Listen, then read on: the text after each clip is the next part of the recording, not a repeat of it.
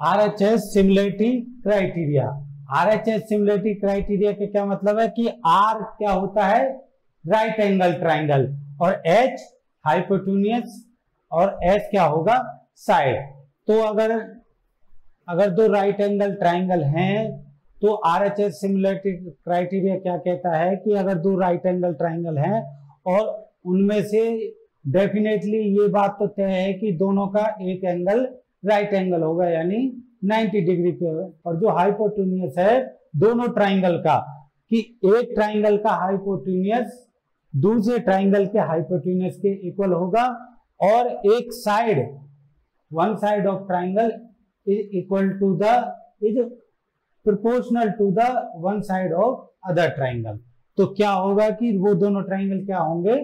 Similar triangle होंगे। तो hello students learn with concept में आपका स्वागत है। और आज की क्लास में हम डिस्कस करेंगे R H S similarity criteria क्या होता है। तो आर एच एस का यानी इसकी अगर हम फुल फॉर्म ले तो क्या होगा? राइट एंगल यानी 90 डिग्री और एच क्या होगा? हाइपोटीनियस हाइपोटीनियस और एस क्या होगा? साइड बेसिकली ये दो राइट एंगल ट्राइंगल हैं कि ए, बी और सी। तो बी क्या है? इसमें 90 डिग्री है। और एक और राइट एंगल ट्राइंगल है, पी क्यू आर। और इसमें क्यू क्या है? 90 डिग्री है।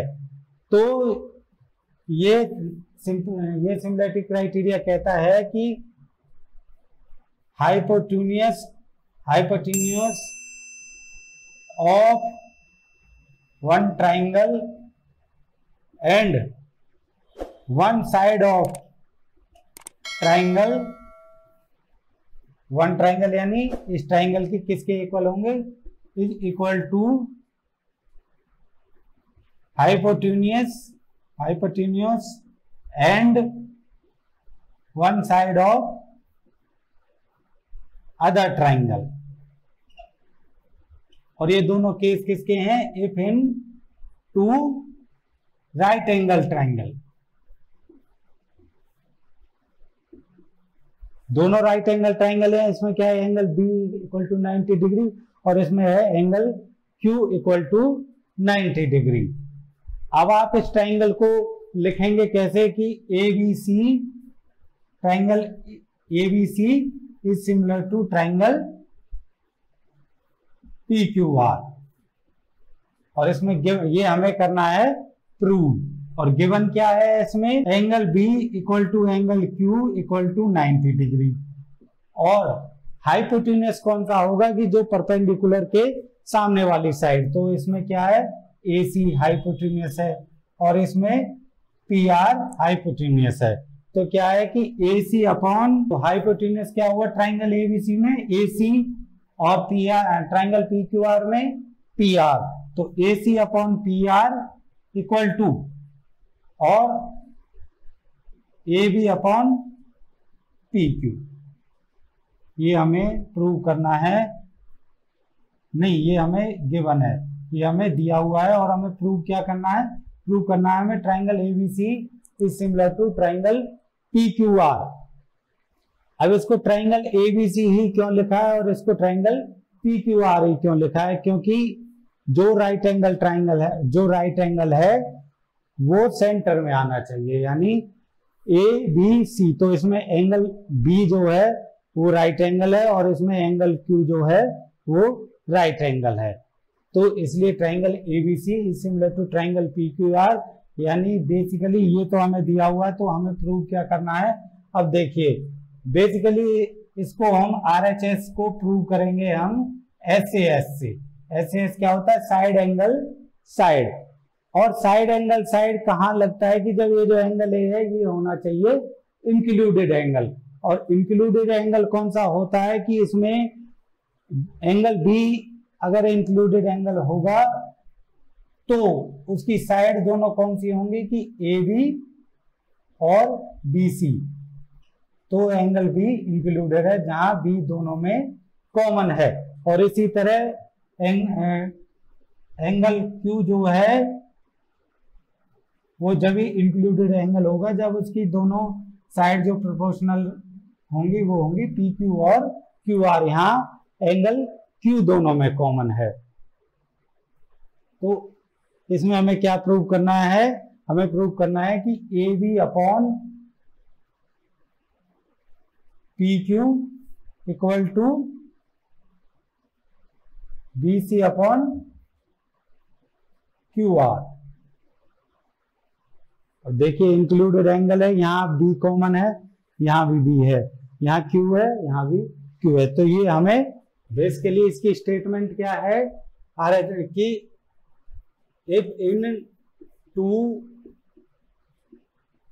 right angle triangle right angle triangles, या लिख दें आप triangles.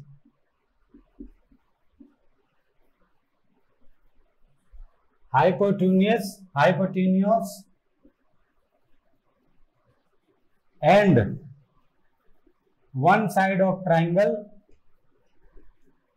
दो ट्राइंगल है ना तो एक का हाइपोट्यूनियस और one side is equal to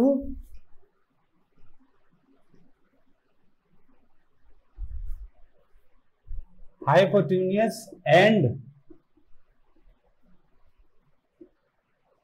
one side of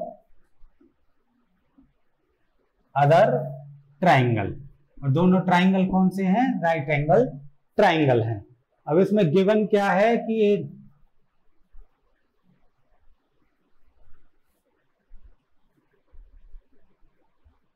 A B C और P Q R. 90 degree 90 degree. तो गिवन क्या है? गिवन है two right angle triangle. Angle, triangle, triangles. और वो कौन कौन से हैं? Triangle A B C and triangle P Q R. और इसमें क्या है कि angle B equal to angle Q equal to 90 degree की एंगल बी और एंगल क्यू जो है 90 डिग्री के इक्वल है। और हाइपोटेन्यूस इसमें क्या होगा? ए सी और इसमें होगा पी आर यानी A C upon P R is equal to one side यानी A B upon P Q ये है गिवन और प्रूव क्या करना है टू प्रूव कि triangle A B C to triangle P Q R और ये किससे प्रूव होगा? एसएएस से एस से। और तो एस से एस के लिए की कंडीशन क्या है कि एंगल ए क्या होना चाहिए?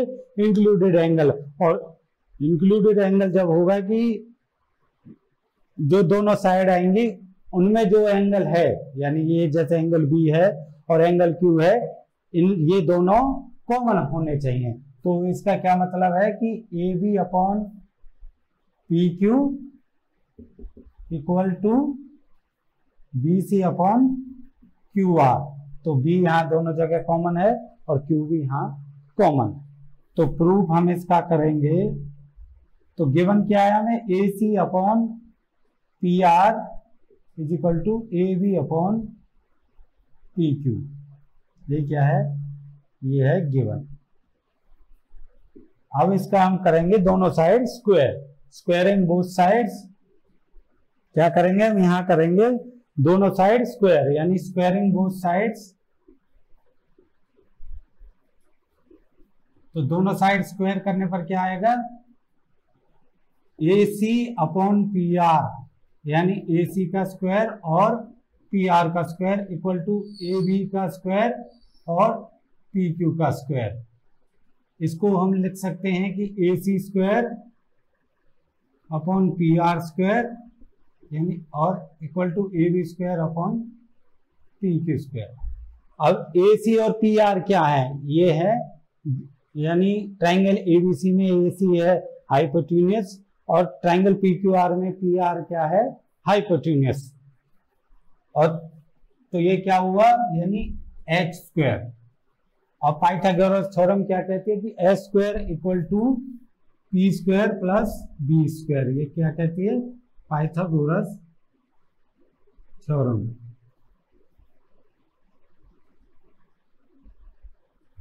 लेफ़्ट साइड में आप देखिए तो एच स्क्वायर यानी ए सी स्क्वायर और इसका परपेंडिकुलर क्या है? ट्राइंगल एबीसी में। यानी इसको हम लिख सकते हैं कि A B square plus B C square यानी ए बी स्क्वायर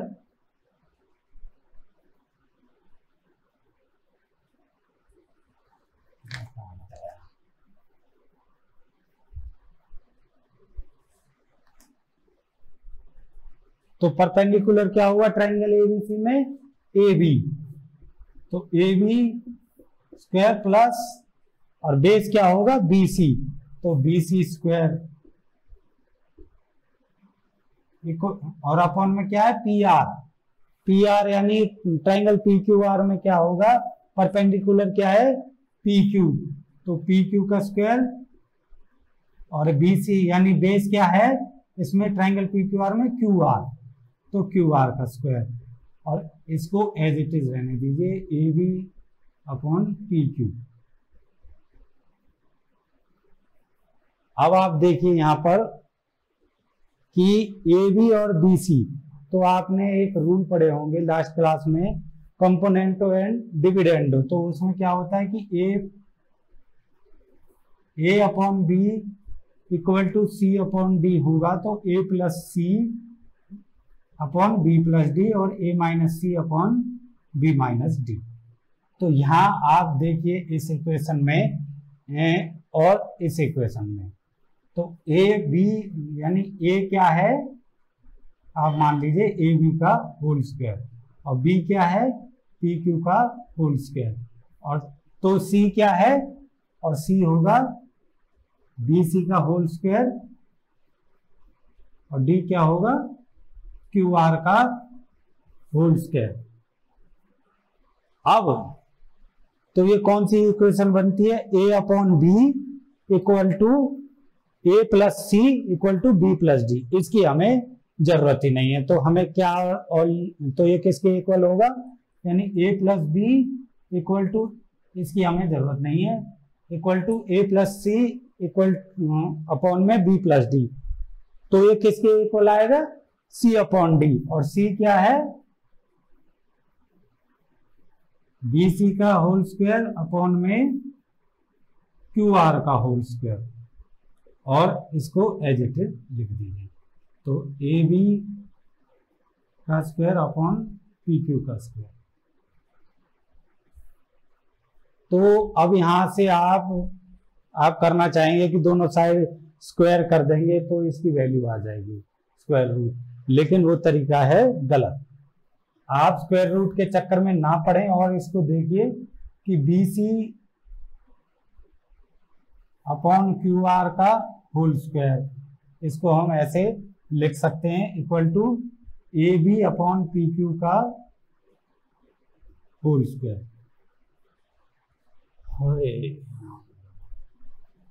तो वहाँ से क्या आया? यानी B C upon Q R का whole square minus A B upon में पी क्यू का whole square equal to zero तो ये किसका फार्मूला बन जाता है? A square minus B square और वो क्या होगा? ए प्लस बी और ए माइनस बी अब ए प्लस बी यानी B C upon Q R plus A B upon P Q into में B C upon Q R minus में A B upon P Q किसके इक्वल है? Zero के। तो दोनों की अलग अलग वैल्यू निकालेंगे तो एक से तो आएगी B C upon Q R minus के A B upon P Q ये वैल्यू हो जाएगी नेगलेक्ट क्योंकि साइड्स कभी भी नेगेटिव में नहीं होंगी। और दूसरी वैल्यू क्या आएगी? B C upon Q R equal to ये माइनस का इस साइड जाकर हो जाएगा प्लस का। ए बी अपॉन में पी क्यू तो यही करना था हमें प्रूव यानी ए बी अपॉन में P Q equal to B C upon में क्यू आर तो यहाँ क्या आएगा कि triangle A B C is similar to triangle P Q R क्योंकि आप देखिए कि angle B equal to angle Q यानी ए एंगल बी और एंगल क्यू दोनों 90 डिग्री हैं, अब एस एस में इसकी इंक्लूडेड साइड चाहिए। तो इस साइड में आप देखिए ए बी यानी एंगल बी के साथ इंक्लूडेड है, और ये बी सी ये भी इंक्लूडेड है, यानी ए बी और बी सी तो यहाँ बी दोनों जगह है, और क्यू क्यू दोनों जगह है। तो ये किससे होगा? साइड एंगल साइड से। ये क्या हो जाता है? Triangle ABCD is similar to triangle P Q R hence prove ये करना था हमें। प्रूव तो ये थी R H S similarity criteria for similarity of triangles की। अगर दो राइट एंगल ट्राइंगल हों तो उनका हाई तो एक ट्राइंगल का हाइपोटेनियस और एक साइड दूसरे ट्राइंगल के हाइपोटेनियस और एक साइड के इक्वल होगी। और ये हमें प्रूव किससे करना है? साइड एंगल साइड से। तो उम्मीद है कि ये क्लास आपके समझ आई होगी। और अगर ये क्लास आपके समझ आई है तो आप इस क्लास को अपने दोस्तों के साथ शेयर कर सकते हैं। और अगर आपका कोई क्वेश्चन है तो आप वो क्वेश्चन कमेंट के ज़रिए हमसे पूछ सकते हैं। अब नेक्स्ट क्लास में हम करेंगे एक्सरसाइज 6.3 के एग्जाम्पल्स इससे पहले वाली क्लास में जो, उसमें भी हमने, उसमें भी यही कहा था कि हम नेक्स्ट क्लास से करेंगे। लेकिन ये क्या है कि ये आर एच एस क्राइटेरिया जो है, वो एक्सरसाइज 6.3 में यूज़ होगा। तो ये एक बार डिस्कस करना ज़रूरी था।